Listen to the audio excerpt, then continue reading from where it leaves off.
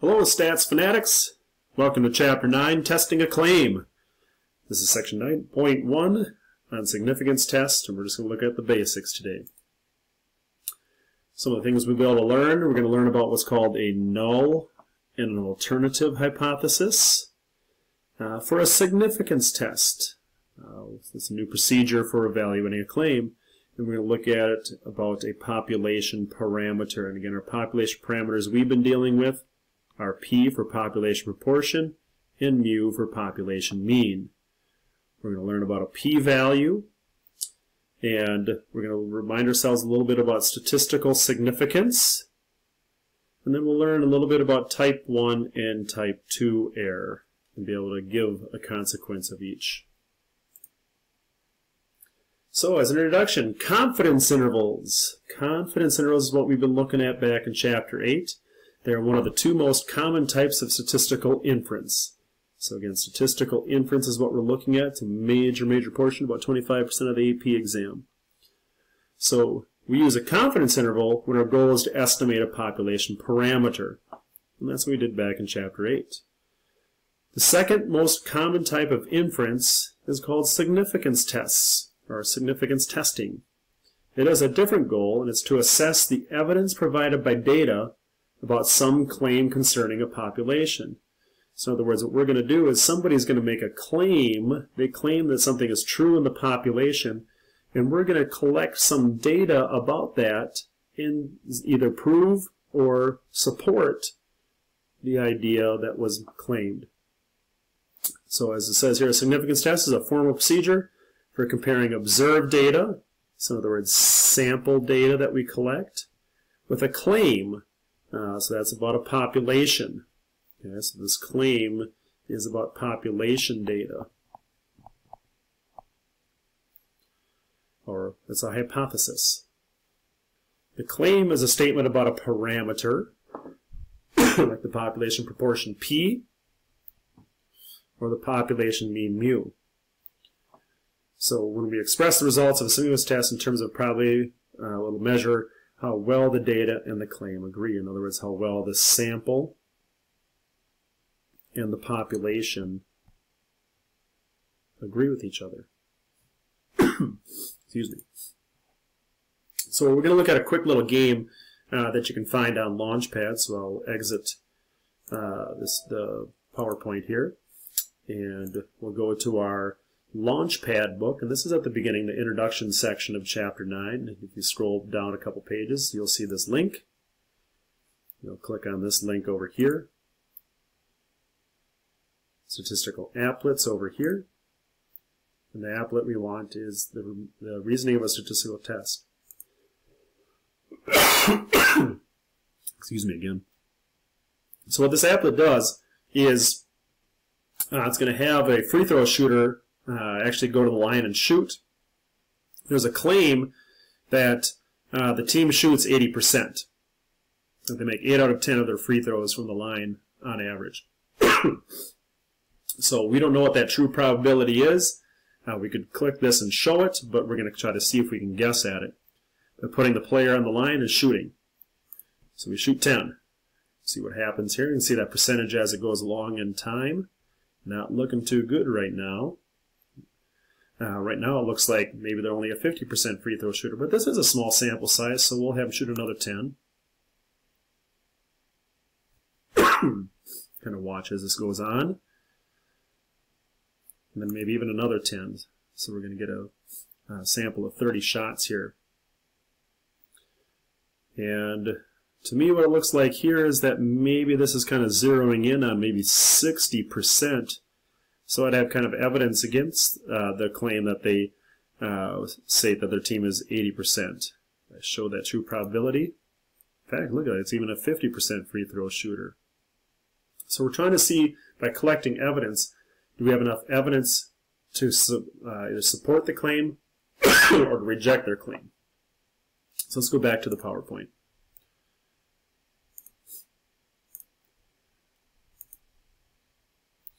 So a significance test starts with a careful statement of the claims we want to compare.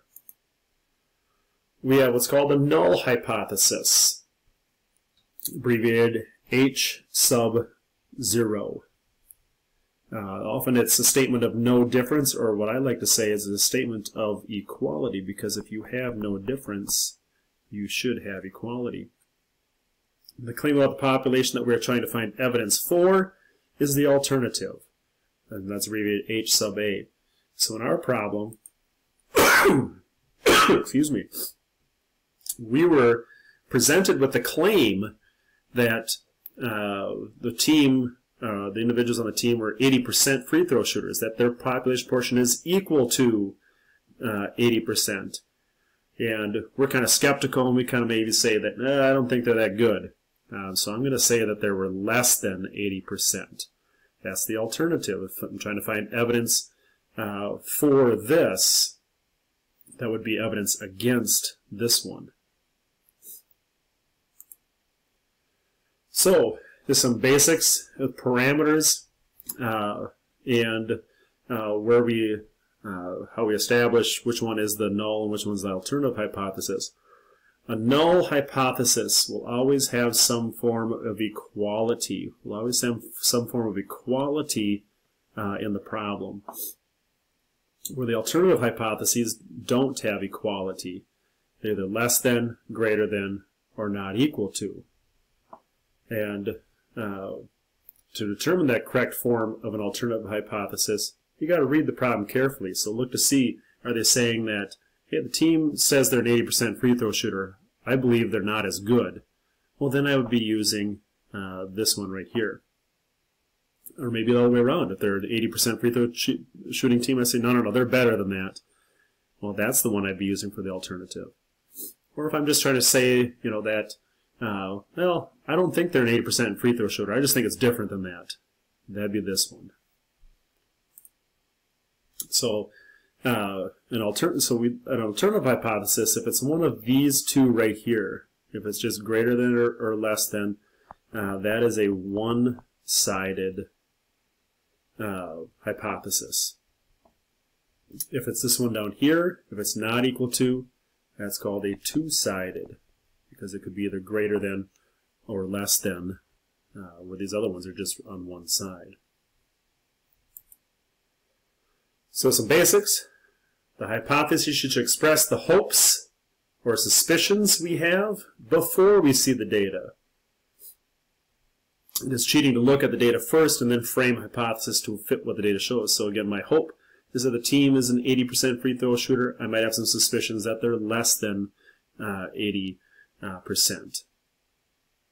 So um, hypotheses always refer to a population, always, always, always, always, always to a population out and to that whatever that population parameter is, and the ones we know again are p or mu.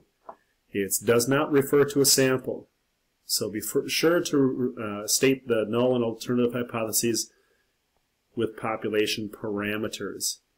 As we can see below, it's never correct, never correct to write something like this, where the null hypothesis is p hat equals 0.64. Never, never, never, never, never do that. That's a, that's a statistic. It should always be a parameter uh, equaling whatever the value is. Or vice versa over here, uh, never, never, never, never, never, never, never say x bar equals 85, because that's not a parameter. This is not a parameter. Mu is the parameter that we would be trying to estimate on. So let's suppose that basketball player claimed to be an 80% free throw shooter. To test this claim, what we do is we have him shoot 50 free throws, because again, the more the better. He makes 32 of them. So his sample proportion, his p hat, his p hat here is 0.64. So that's the question. Is that far enough away for us to say, no, hey buddy, you're not an 80% free throw shooter? Or is that close enough to say, ah, I just I can't I can't reject your claim. You're you you are an 80% free throw shooter. So we could use some software to kind of create a distribution of that, to create a sampling distribution. I could have 400, uh, have the player do this 400 times, or have the team do it 400 times, uh, where they each shoot 50 shots. And uh, what we can do is then plot that. So these are uh, 400 dots where each player shot 50 uh, free throws and recorded their percentage. Our guy here at 64% was right here. And uh, as we can see, there's only him and two others that are at him or below. So that's only three out of the 400 uh, that uh, had that percentage. You know, if they're truly an 80% free throw shooter, you know, I'm looking at this and saying that this is kind of far away. This is really a small probability. And if we think about statistical significance, if we have a small, uh, small probability of something happening, um, we have statistical significance against that claim. So our observed statistic is so unlikely, it's such a small probability uh, if, the, if the actual parameter, if it's truly 0.8. So that gives us convincing evidence that the player's claim is not true. So that probability is so small of shooting 0.64, shooting 64% when he should be 80%, that I don't think that could have occurred by chance. So I think that that's got evidence against that saying that, nope, I don't think you're a 0.80 or an 80% free throw shooter. So there are two explanations for this fact. The player's claim is, you know, if the player's claim is correct, they could not they could not get 0.8 just by chance. Um, but more likely in this case, the alternative hypothesis is correct. Uh, that the population proportion is actually less than 0.8. So their claim of being 0.8 is probably not true because that statistic of uh, the statistical significance uh, was really, really small. So I think I've got evidence against this claim. So the basic idea is of an outcome that would rarely happen, in other words, of a very small probability of something happening when the null hypothesis were true, it's good evidence that the null hypothesis is not true. So we can do this with p-values. And the null hypothesis states the claim that we are seeking evidence against. The probability that measures the strength of the evidence against null hypothesis is called a p-value. That 3 out of 400, uh, that's a p-value. The probability computed assuming null is true that the statistic would take a value as extreme as or more extreme than the one actually observed is called the p-value of the test. That's why I counted all three of those from the ones at 0.64 and less. There were three of those that were there or more extreme. And we've kind of known this before. Small p-values are evidence against the, the null hypothesis. So we usually this at about a 5% level before and if there was smaller, smaller than 5%, uh, we would say we have statistical significance and say that couldn't have occurred by chance and that that claim is not right. Large p-values, generally we've been saying about 5%, uh, fail to give convincing evidence against somebody's claim. So again, statistical significance, as I've alluded to, uh, we make one of two decisions based on that p-value, that strength of the evidence against the null hypothesis. We either reject the null or fail to reject the null. Okay? Failing to reject the null doesn't mean that it is true. It doesn't mean that it's true. So that what I want I don't ever want to hear you say that you accept. Don't use that word accept. Uh, you know, say uh, that you fail to reject. So in a nutshell, Small p-values, reject the null. You have convincing evidence for the alternative. If you have large p-values, you're going to fail to reject the null, and you're not going to have convincing evidence for the alternative. So there's no rule for how small a p-value we should require in order to reject null, but we can compare the p-value with a fixed value that regards decisive, called the significance level. We write that as alpha the Greek letter alpha. And the p-value, if the p-value is smaller than the alpha, we say that the data are statistically significant at level alpha. In that case, we reject the null hypothesis, including that there is convincing evidence in favor of the alternative. So we don't always have to use 5%. We can set that alpha level at whatever we want. Most of the time it is 5%, but you can certainly set it at 10% or any other level. And again, there's our reminder.